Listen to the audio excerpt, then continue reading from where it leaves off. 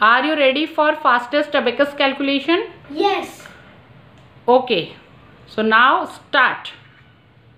3 plus 2 minus 5 plus 4 minus 3 plus 3 minus 4 plus 5 plus 4 minus 9 plus 3 plus 2 minus 2. Answer is 3.